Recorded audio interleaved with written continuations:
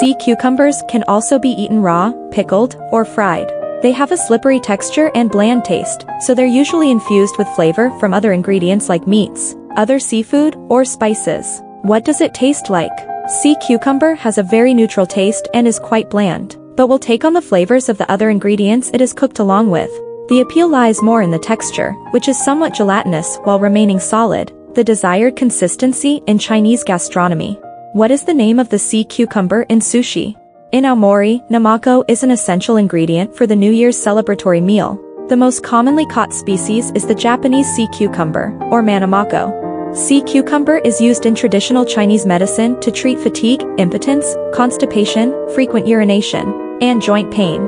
It is also a rich source of chondroitin sulfate, commonly used for arthritis.